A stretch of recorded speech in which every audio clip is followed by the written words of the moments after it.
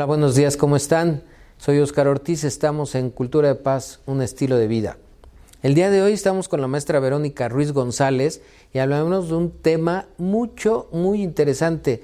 Además de interesante, importante porque tiene que ver con tejido social, con cambios en las estructuras sociales para cambios positivos, que es la vinculación familia-escuela.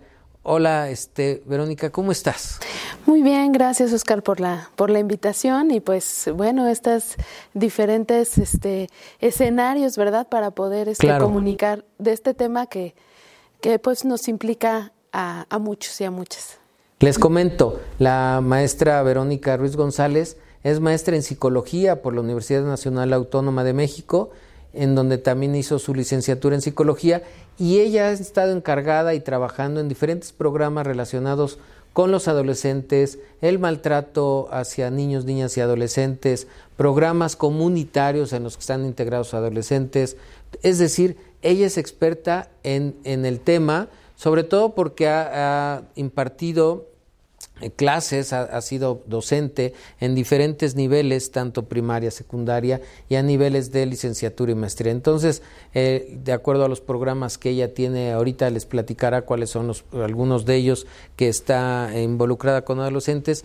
El tema es adecuado para, para todo lo que estás haciendo, este, Verónica. Cuéntanos, ¿qué, ¿qué es para ti la vinculación familia-escuela? Pues bueno, la vinculación familia-escuela es precisamente eh, este, esta relación que establece el grupo familiar ¿no? este, con eh, el equipo eh, académico, administrativo de, de, una escuela, ¿sí? y también que ambos establecen con el grupo social. Entonces, eh, en realidad la vinculación escuela-familia es, es un sistema, ¿sí?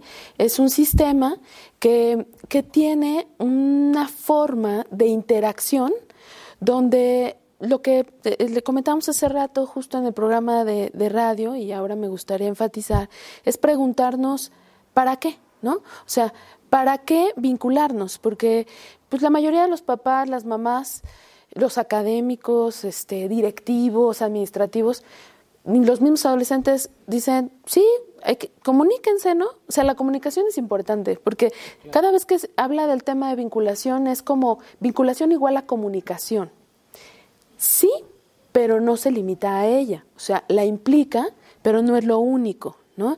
Eh, y eh, el gran para qué es, bueno, pues para poder educar, para poder proteger, para poder cuidar y comentábamos hace un rato para poder promover a nuestros adolescentes, ¿no? O sea, no solamente esta vinculación escuela-familia es para poder regañar a nuestros adolescentes en grupo, ¿verdad? Cuando, cuando no hacen y no cumplen nuestras expectativas, para poder desahogarnos unos con otros y este la maestra me entienda y yo la entienda a ella, este o a él, este y, y podamos pues hacer un frente común para acercar al adolescente y no se nos salga del redil o de, del guacal como decimos este culturalmente acá en México, no, o sea, no es para acercarlo, no es para limitarlo, no solo es para contenerme o contener a, los otros, no solo es eso, ¿no? Sino ante todo es poderlo promover a crecer, promoverlo a ser un agente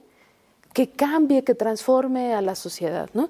Entonces, eh, la vinculación es, es compleja, ¿no? O sea, la podríamos definir como un sistema relacional que es dinámico, ¿no? Y que sobre todo es para poder cuidar, proteger, educar y promover a nuestros adolescentes. Que, que vean, con lo que yo escucho, eh, Verónica, eh, la importancia de, vincular familia, escuela, es decir, todos los las personas que, que, están en la familia, o sea, todos los responsables de crianza, porque muchas veces creemos que solamente es papá, mamá, pero eh, los responsables de crianza son los abuelitos, los tíos, quienes están en contacto con, con la escuela en, en función de, del alumno, ¿no? Exacto. Con todos los directivos, porque hablaste hasta directivos, directivos, los docentes administrativos. y administrativos con los responsables de servicios administrativos que es el psicólogo, la el prefecto o prefecta, la trabajadora social, el secretario, o sea, todas las personas que están dentro del plantel y, y o fuera del plantel, pero que están vinculados con la educación de estos jóvenes. Así es. Y eso, eh, lo que eh, entendí que dices que es un sistema, y también nosotros cuando hablamos de comunidad educativa decimos todo lo que está alrededor de los planteles. Muchas veces no tomamos en cuenta la importancia de todo ese tejido social que, que, está eh, directamente involucrado con, con, con, los planteles educativos. Claro, y que todos en conjunto pues hacemos comunidades educativas, ¿no? Este, no es lo mismo este, una secundaria ¿no? que se encuentra en una, en una zona urbana, una zona rural, ¿no?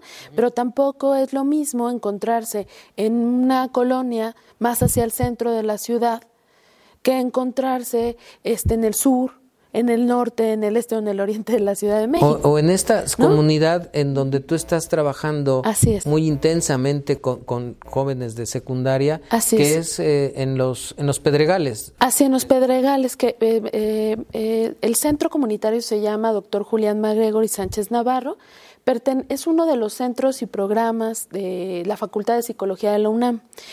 La particularidad es que es el único centro de la Facultad de Psicología que pertenece a la UNAM, o sea, cuando estamos ahí estamos pisando piso UNAM, pero que fue construido en la comunidad. De hecho, es una casa que se adecuó para centro comunitario y que se encuentra en la colonia Ruiz Cortines, eh, muy cercano por donde está el Estadio Azteca, este, Colonia del Reloj, División del Norte, este, Avenida Los Aztecas. Ahí nosotros hemos aprendido a hacer comunidades de aprendizaje, incluso no solo comunidades educativas, ¿no? O sea, eh, vinculadas a la escuela, sino comunidades de aprendizaje donde se retoman todos estos sistemas y subsistemas, ¿no?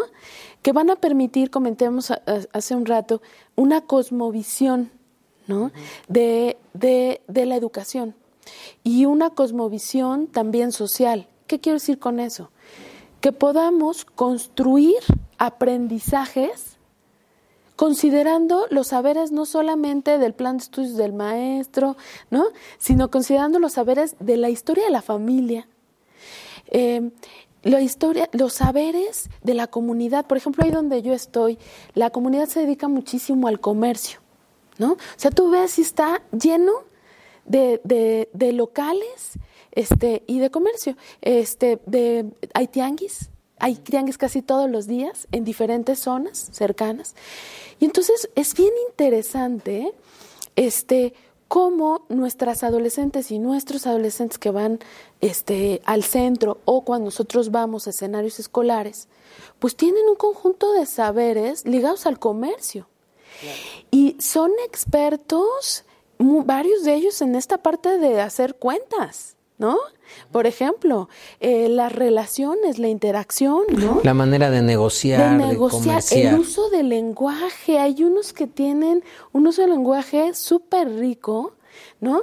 Y este, pero pues que definitivamente no fue solo en la escuela, ¿no?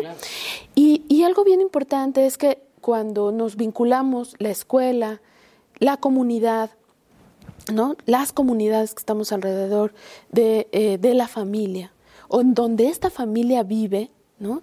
Eh, vamos ayudando al adolescente a generar recursos, ¿sí? Incluso a identificar sus recursos, sus recursos personales, sus recursos familiares, los recursos en su escuela y los recursos culturales comunitarios. Oye, a ver, Verónica, con esto que nos estás diciendo, ¿la comunidad educa? Claro.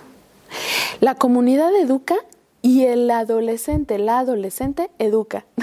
o sea, desde esta perspectiva de comunidades de aprendizaje, no hay expertos que lo saben todo o lo sabemos todo y gente que es depositaria del aprendizaje. O sea, no vemos al adolescente como una alcancía donde nuestra inversión es el saber y entonces le depositamos muchas moneditas llamados este aprendizajes, ¿no? Este, no lo miramos así. Entonces, ¿cómo es? ¿Cómo se forma esto? Lo miramos más bien como un, adolescente que es activo en el aprendizaje, que ya tiene un, un conjunto de conocimientos, de habilidades, de actitudes, es decir, nos hablamos ahí de competencias, ¿no? Y de saberes, de saberes. Eso que le comunicó el abuelo, la abuela, al tío en su crianza, los mismos padres, los saberes que tiene de la comunidad, los saberes que adquiere en la escuela. Y a partir de ahí, es, esos saberes los aplica y los aplica para poder transformar su entorno. Primero, para poderse conocer a sí mismo, poder conocer el entorno y a partir de ese conocimiento poder transformarlo. Entonces, si es una visión distinta, o sea, generar comunidad en la escuela. Maestra, eh, esto que, que, nos comentas de las comunidades de aprendizaje y tal como me lo estás explicando, ¿es algo nuevo o es algo que, que ya existía en nuestra cultura? Existía en nuestra cultura. Eh, digo, de teóricos en psicología, este, vamos, vamos a encontrar antecedentes desde los, desde los 40, pero entró muchísimo más en boga de los 90 hacia acá, ¿no? Mucho los modelos ecosistémicos y demás. Pero como pasa en muchas cosas, ¿no? Por ejemplo, en la relajación también sucede, ¿no? Que creemos que es así el Prosgua Ultra y pues ya había estrategias de relajación oriental aquí mismo prehispánico. Claro. Lo mismo sucede con las comunidades de aprendizaje. Las comunidades originarias ya em, son especializadas, ¿eh? y digo todavía en presente porque siguen existiendo. Claro. Por ejemplo, ahí nosotros cercano al centro, que son las comunidades con las que trabajamos, está muy cerca Santo Domingo. Es una de las poblaciones, eh, es la población más densamente eh, poblada. ajá, con mayor densidad. mayor densidad en Latinoamérica. ¿Sí? Más que Iztacalco, entonces. Más que Iztacalco y más que en Brasil, por ejemplo, ¿no? Las favelas que, que, nos las ponen como que hay hacinamientos. No, Santo Domingo este, hay una gran cantidad. Y va mucha comunidad justo en esta parte del comercio. Gran cantidad de grupos originarios. ¿No? De hecho, van este, de Oaxaca, de Hidalgo, eh, van gente de Puebla, ¿no? Hay gente que incluso habla todavía este, dialectos, ¿no? Por ejemplo, el otomí, ¿no? En Mazagua.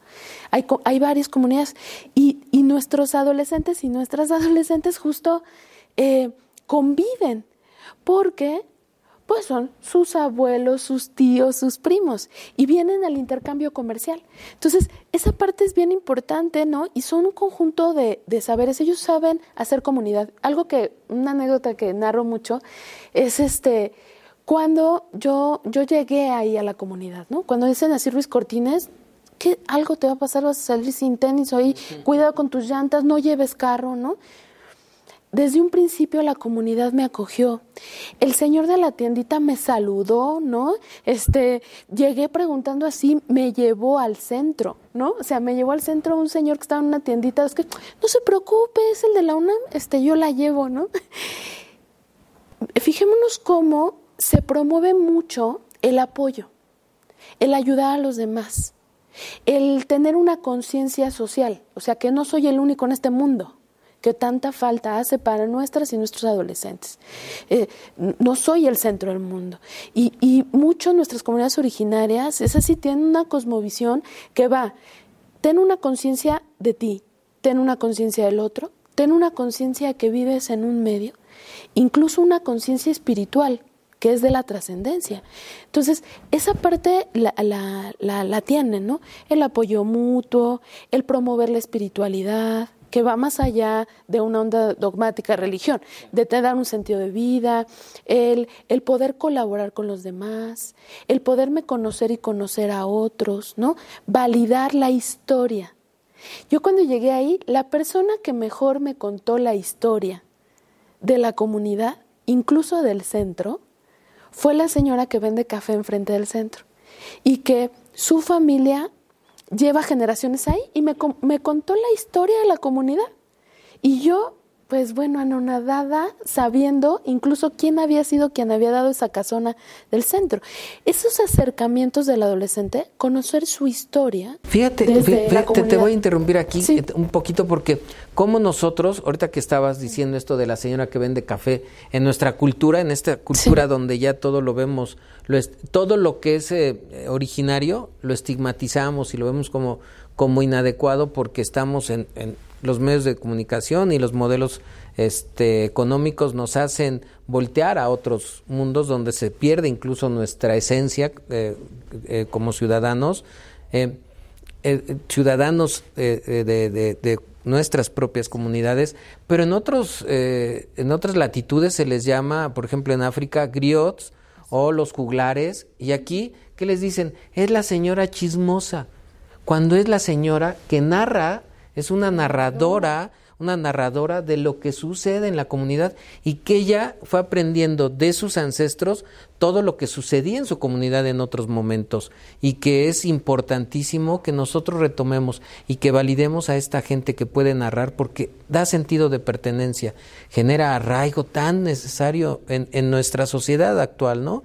estos centros que dices que, que están en los en los pueblos originarios, que como comentábamos hay cerca de 90 pueblos originarios en la Ciudad de México, solamente en la Ciudad de México, y a las cuales no se les da la importancia que se debe para promover esto que, de que estás hablando, que me parece súper interesante, porque nosotros pensábamos vinculación familia-escuela, cómo se hace el sistema educativo ahí, cómo trabaja, pero con lo que nos estás hablando, nuestra visión se amplía y decimos, bueno, comunidades de aprendizaje que no solamente están alrededor de la escuela, sino en toda la comunidad. ¿Es así? Claro, así es. Y también, pues, invitar justo a reflexionar también a, maestras, a maestros, este, en, el ámbito educativo, directores administrativos, a darnos cuenta que esta vinculación con la familia es necesaria también y considerar esos saberes y considerar esa promoción para los adolescentes. Eh, promoviendo justo proyectos, ¿no? Programas que los mismos adolescentes este, desarrollen, ¿sí? Eh, junto con su comunidad, ¿no? Programas deportivos, programas de desarrollo social, programas culturales, programas incluso educativos. Cuando nosotros implicamos al y la adolescente de una manera más activa, surgen, en mi experiencia, han surgido proyectos hermosos y no han surgido desde mí, porque luego me dicen, es que eres muy creativa, ¿cómo se te ocurre tanta cosa? Mi secreto es que soy vocera. claro. yo debí de haber sido alguien de mercadotecnia, del adolescente, del adolescente, porque en realidad son ellos, ellos y ellas quienes han diseñado eso. ¿eh? Este, cuando les enseñamos a ser más sensibles a su comunidad, los implicamos a detectar las necesidades que hay en su entorno, se comprometen más con el saber, se comprometen más con el aprendizaje, porque saben que eso que está aprendiendo no solo es un álgebra sin sentido, no solamente es aprenderse este, los autores de las novelas, biología sin sentido, química sin sentido, cívica y ética sin sentido, sino dicen, esos saberes me permiten, ¿sí?, poder generar conocimiento que ayude a mi comunidad. Por ejemplo, una de las cosas que, yo les tiendo a compartir a los adolescentes, les digo algunos datos, ¿no? Les digo, este, oigan, ustedes saben que justo se ha encontrado que los y las adolescentes que estudian más, ¿no? Promueven a sus familias y tienen una mejor situación económica. Porque uno de los mitos que hay ahí alrededor de los adolescentes es, uh, no, pues tengo que estudiar más de 20 años para poder ganar algo. Y mi primo, que pues va en la licenciatura, está de chofer Uber, mi prima está atendiendo acá un local, ¿no? Este, entonces hay un mito de que la educación profesional pues es igual a pobreza, ¿no? Y que el comercio pues que a lo que ellos se dedican, pues te da dinero al momento, ¿no? Pero le digo, a ver, fíjate en qué otras cosas más estás invirtiendo, ¿no? Y si es tan real eso de que tiene una economía mayor, ¿no? Entonces, lo vamos analizando, pero con cosas duras y datos duros y cálculos duros, ¿no? A nivel de ciencia. Y algo que se han dado cuenta es efectivamente, ¿no? El poder este, estudiar, promover la educación, eh, ayuda al crecimiento este, familiar y social, ¿no? Por ponerte un ejemplo. Claro. Pero, pero fíjate, yo te estoy escuchando y digo, bueno, qué importante es el, el comerciante, qué importante es el técnico, qué importante es quien tiene una licenciatura. O sea, aquí lo importante, lo, lo creo yo necesario o que sería muy valioso es cómo el objetivo que ellos tengan de vida, respetárselos y promover la cultura y el conocimiento, no solo el, el, el académico, sino el, el, del conocimiento, el de la cultura, en, en que si, si, es comerciante, si es Uber, si, o sea, chofer de Uber, si es eh, licenciado en, en X eh, profesión, maestrías, doctorados, maestrías, doctorados que lo que promover es la cultura, que eso es lo que va a, a generar un mejor tejido social. Porque escucho con esto de las comunidades de aprendizaje que decías, cómo se fomenta algo que, que, en cultura de paz es necesario, que es solidaridad, sí. respeto, responsabilidad. responsabilidad, compromiso, compromiso, diálogo, ¿no?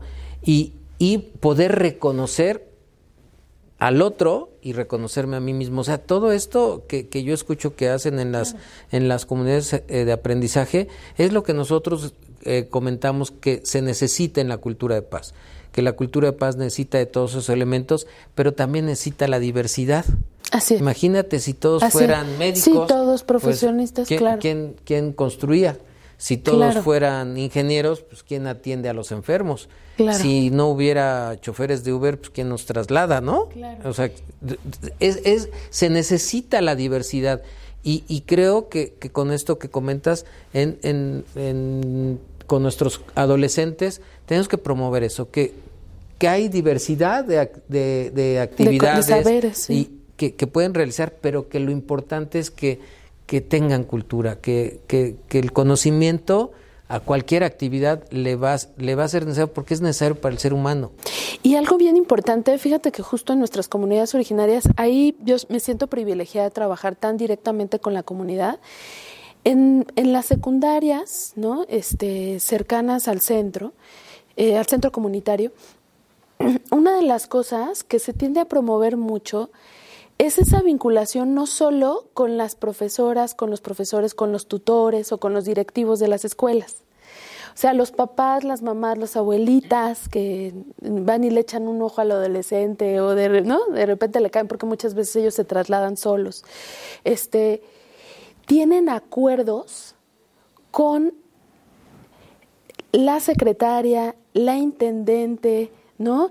El vigilante, lo menciono así porque una gran mayoría es así, o sea, la secretaria, la, eh, eh, las o los intendentes y los vigilantes. Eh, la, la, señora de la tiendita de la carnicería que está enfrente de la secundaria, ¿no? Este, el señor del puestito que se pone en las canchas de básquet que está cerca de la que vende los chicharrones tan que ricos, vende los chicharrones y entonces dejen una red de apoyo Exacto. que no solo es para acusar al adolescente, sucede algo bien interesante, ¿eh? Este es para protegerlo, para cuidarlo, pero también se asumen, nos asumimos como responsables. Responsables, claro. Como responsables. Es me lo encargó. O sea, eso que, que antes, este, y que ahora se sigue ocupando en comunidades de este tipo. Exacto nos asumimos que nos lo encargan, pero ¿qué implica, no? Porque muchas veces es, a ver, ustedes escuela son los responsables de la educación formal, ustedes en la casa de crearlo. Y como si todos los demás adultos y adultas no tuviéramos nada que ver ni responsabilidad alguno de los que no sean mis hijos o hijas. O sea, yo solo me hago cargo de mis estudiantes y de mis hijos. Y los demás, a ver, eso en las comunidades originarias no se asume así, ¿eh? Los niños, las niñas son cuidados por los adultos. Claro. Y las adultas, y son promovidos por todos ellos. Sí. Entonces, retomar. Eh, fíjate que, que, que Verónica uh -huh. te comento uh -huh. que uno de los mensajes que eh, con frecuencia enviamos es esto que acabas de decir, que la, la educación y, el cuidado de los niños, niñas y adolescentes es responsabilidad de todos los adultos. Y esto es, eh, no es una invención de quienes lo decimos, sino es algo que a través de la historia de, nuestra, de nuestras comunidades, de nuestra cultura, se ha llevado a cabo. Yo, yo no sé si, si eh, siempre ha sucedido así, pero recuerdo que a mí, eh, como dices, el, los señores que, aparentemente no tenían una formación académica, porque eran los que venían, pero te daban los consejos. Exacto. Oye, niño, no hagas esto. Oye, niño, no te pelees. Oye, niño, fíjate cuando yo fui joven. o sea, nos transmitían cultura a través de narrarnos sus experiencias. Hoy han cambiado muchas cosas y ya no confiamos en los adultos que están en la comunidad, ya no confiamos. Entonces, ¿Qué, qué, está sucediendo? ¿Qué tendremos que hacer con esto que yo te estoy diciendo? Que tú me dices, la, la forma como de, la estructura comunitaria nos lleva a que todos podemos cuidar a nuestros niños, niñas y adolescentes. Y yo te digo, no está sucediendo. Sí conozco de eso porque hace, hace, no digo cuántos años, pero hace muchos años, así sucedió con, con mi educación. Pero, ¿qué consideras que está pasando para que esto ya no suceda? Yo creo que hay, varios factores, ¿no? No podríamos como explicarlo desde uno solo, pero en este momento me gustaría puntualizar dos factores que he visto, que hemos observado incluso hasta en la investigación como muy em, significativos, no los únicos, vuelvo a repetir. El primero es la estigmatización que se ha hecho del y del adolescente. ¿No? Se le, tiene, se le tiende a equiparar con un delincuente. O sea, la adolescencia es igual a problema, es igual a conflicto social, es igual a deterioro social. Entonces, ahí me gustaría que todos y todas las adultas nos eh, pongamos a reflexionar esa parte, porque él y la adolescente es un motor social. Hace ratito hablaba de una eh, metáfora que me gusta mucho, de pensar cómo como sociedad somos como un barco y los adultos y las adultas seríamos el timón, los adolescentes el motor y la tripulación nuestra infancia y el velero nuestros adultos mayores. Entonces, algo muy importante es que no olvidemos nuestro motor. Si a nuestro motor lo estigmatizamos y le decimos adolescente igual a flojo, delincuente, agresivo, disregulado y tantos estigmas, ¿no? es de repensarnos en la posición que tenemos con nuestros adolescentes, ¿no? Yo, mi visión, que invito a todos, estoy enamorada de los y las adolescentes. Eso me declaro enamorada. Me, dicen, te comentaba que cuando crezcan mis hijos a lo mejor cambie. Yo que no. Sigo enamoradísima. Yo los veo como agentes de cambio y de transformación social. Veo eh, excelentes críticos, porque ya su nivel de pensamiento se los permite.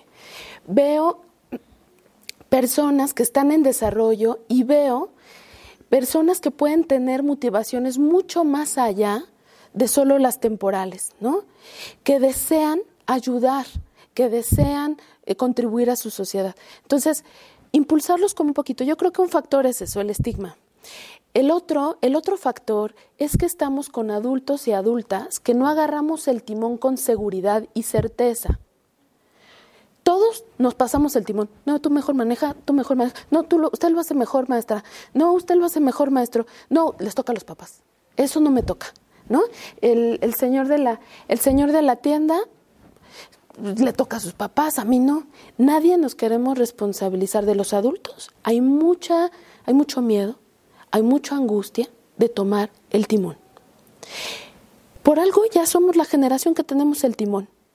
Claro. Entonces, asumirlo, asumirlo y organizarnos, validarnos entre nosotros, hacer equipos colaborativos entre los adultos.